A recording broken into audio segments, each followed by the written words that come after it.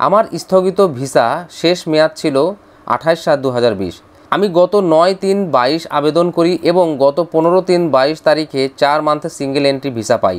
এখন কি পুরাতন ভিসা ব্যবহার করা যাবে? আর বাই ইয়ারে থাকলে কি নতুন পোর্ট আবেদন করা যাবে? জানাবেন please welcome back to my channel আমি ফ্যাসাল, আশা করি সবাই ভালো আছেন। তো ভিউয়ার্স আজকে আমি একটা গুরুত্বপূর্ণ বিষয় নিয়ে আলোচনা করব, সেটা হলো এই ট্যুরিস্ট ভিসা নিয়ে এতদিন যে বাংলাদেশি নাগরিকরা অপেক্ষা করেছিলেন যে কবে স্থলপথ খুলবে, কবে স্থলপথ খুলবে, কবে স্থলপথ দিয়ে আমরা ভারত যেতে পারব অল্প টাকার মধ্যে বাজেট প্রাইজের মধ্যে এবং এই ছাব্বিশে মার্চ থেকে বাংলাদেশ এবং ভারতের মধ্যে যে ট্রেন চালুর একটা কথা ছিল, সেই ট্রেনটি কি ছাব্বিশে মার্চ থেকে চালু হবে? নাকি আর কয়েকটা দিন পরে থেকে চালু হবে? সেই বিষয়টা নিয়ে কিন্তু আজকে আলোচনা করব। অলরেডি কিন্তু বাংলাদেশ সরকার ভারতের স্বরাষ্ট্র মন্ত্রণালয়কে চিঠি দিয়েছে? তারা এখন কি ডিসিশন নিচ্ছে? কি ডিসিশন আসতে চলছে? সেই বিষয় নিয়ে কিন্তু একটা ইনফরমেটিভ নিউজ দিতে চলছি।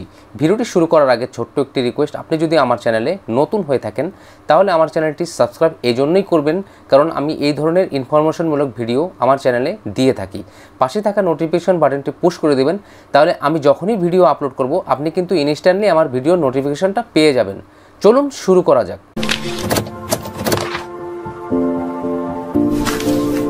তো সবার প্রথমেই আমি বলব, বাংলাদেশ সরকারের পক্ষ থেকে ভারতের স্বরাষ্ট্র মন্ত্রণালয়তে একটা চিঠি দেওয়া হয়েছে যে ট্যুরিস্ট ভিসাধারীদের যেন স্থল পথ দিয়ে যাওয়ার ব্যবস্থা করে দেওয়া হোক অথবা ট্রেনে যাওয়ার ব্যবস্থা করে দেওয়া হোক। এখন বাংলাদেশ এবং ভারতের মধ্যে ছাব্বিশে মার্চ থেকে কিন্তু তিনটি ট্রেন চালু হওয়ার কথা আছে। অলরেডি বাংলাদেশ রেলওয়ের পক্ষ থেকে কিন্তু জানিয়ে দেওয়া হয়েছে ট্রেনের সময়সূচি এবং ভাড়া এবং ছাব্বিশে মার্চ থেকে চলবে এরকম ঘোষণাও তারা দিয়ে দিয়েছে। কিন্তু বাস্তবে কিন্তু এই তারিখটা এখনও ঝুলে রয়েছে। এই ছাব্বিশে মার্চ থেকে ট্রেনটি চলবে কি না, সেটা নিয়ে কিন্তু একটা সংশয় থেকে গিয়েছে। এখন বাংলাদেশ সরকার ভারতের স্বরাষ্ট্র মন্ত্রণালয়ের দিকে কিন্তু তাকিয়ে আছে। যে কোনো মুহূর্তে, যে কোনো মুহূর্তে ইমিডিয়েটলি কিন্তু ভারতের স্বরাষ্ট্র মন্ত্রণালয় থেকে একটা ঘোষণা চলে আসবে যে এই বাংলাদেশি ট্যুরিস্ট ভিসাধারীরা এবং অন্য সকল ভিসাধারীরা এই ট্রেনে ভারত আসতে পারবে। এরকমই আশা করছেন বাংলাদেশ রেলওয়ের একজন কর্মকর্তা। বাংলাদেশের এই কর্মকর্তাটি জানিয়েছেন, যে কোনো সময় ইমিডিয়েটলি কিন্তু একটা পদক্ষেপ নিবে ভারত সরকার এবং আমরা অবশ্যই আশা নিয়ে অপেক্ষা করছি। ভারত সরকার আমাদের নিরাশা করবে না, আমরা পজিটিভটা নিয়েই কিন্তু বসে আছি। তো এখন ছাব্বিশে মার্চ থেকে যদি ট্রেন চালু নাও হয়, তো এক এপ্রিল অথবা চোদ্দ এপ্রিলের আগেই কিন্তু এই বাংলাদেশ এবং ভারতের মধ্যে তিনটি ট্রেন কিন্তু চালু হবে। অনেকেই কিন্তু প্রশ্ন করেছিলেন যে বর্তমানে বাংলাদেশি নাগরিকদের কিন্তু ভিসাতে বাই রোড দেওয়া হচ্ছে না, সবাইকেই কিন্তু বাই এয়ার দেওয়া হচ্ছে। তাহলে এই ট্রেনে কারা যাবে? আপনাদের কথাটা কিন্তু খুবই গুরুত্বপূর্ণ এবং ইনফরমেটিভ আপনাদের মতো কিন্তু আমরাও এই জিনিসগুলো বুঝি যে আসলেও সবাইকে যদি বাই এয়ার দেওয়া হয়, তাহলে এই ট্রেনে তো কেউ থাকবে না, একটা ভূতও খুঁজে পাওয়া যাবে না। এই ট্রেনে যাবে কারা? তো শুধু ট্রেনের বগি না টেনে ইঞ্জিনই শুধু যাতায়াত করবে কি? না, এরকমটা তো হতে পারে না। যাই হোক বাংলাদেশ সরকার এটা ভেবে চিন্তা করেই কিন্তু একটা ভারতের স্বরাষ্ট্র মন্ত্রণালয় থেকে কিন্তু চিঠি পাঠিয়েছে। বাংলাদেশের এই সরকারি কর্মকর্তা কিন্তু অনেক আশা করে আছে যে একটা ভালো খবর আসবে এবং বাংলাদেশি নাগরিকদের জন্য অবশ্যই গুড নিউজ হতে যাচ্ছে। আমি ব্যক্তিগতভাবেও মনে করি, আমার কাছেও কিন্তু মনে হচ্ছে যে ভারতের স্বরাষ্ট্র মন্ত্রণালয় থেকে খুব শীঘ্রই কিন্তু একটা পজিটিভ নিউজ আসবে। তো যেই ভাই বোনেরা এই বা ভারতে যাওয়ার জন্য স্থলপথে ট্যুরিস্ট ভিসা বা এই ট্রেনে যাওয়ার জন্য অপেক্ষা করছেন। আমি আপনাদেরকে এতটুকু বলব, আপনারা নিরাশ হবেন না। এতদিন অপেক্ষা করেছেন আর কয়েকটা দিন ধৈর্য ধরুন। আশা করি এই এক এপ্রিল বা চোদ্দ এপ্রিলের আগেই আপনারা এই ট্রেনে অবশ্যই ইনশাল্লাহ আপনারা ভারত যেতে পারবেন। তো এখন আমি কয়েকটা গুরুত্বপূর্ণ প্রশ্নের উত্তর দেব।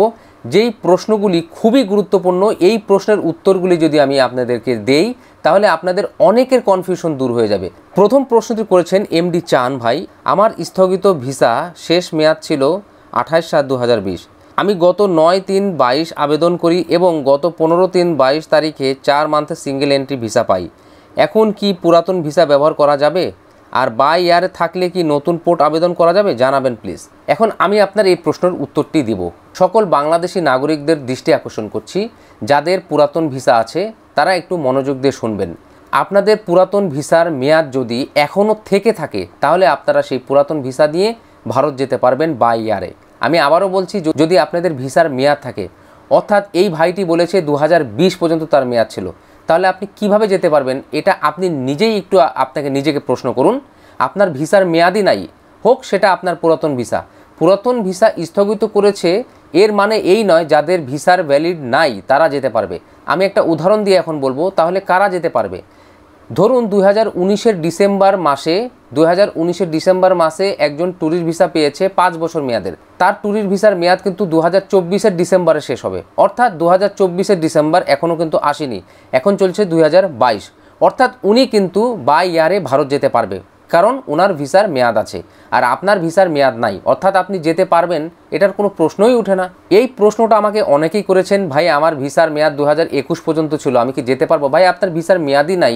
আপনি কীভাবে যেতে পারবেন? এটা আপনার নিজের কমন সেন্সকে নিজে জিজ্ঞাসা করুন। তাহলে কারা যেতে পারবে? যাদের ভিসার মেয়াদ আছে। অর্থাৎ ধরে নিলাম, এটা দু হাজার বাইশ চলছে এখন মার্চ।